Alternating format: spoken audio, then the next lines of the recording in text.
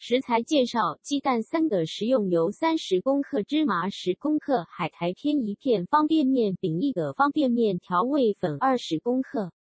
鸡蛋打碎，蛋液分离，将方便面饼用热水烹煮，煮熟后捞出，放入凉水中，捞出控干水分，倒入蛋清，加入方便面调味粉，搅拌均匀。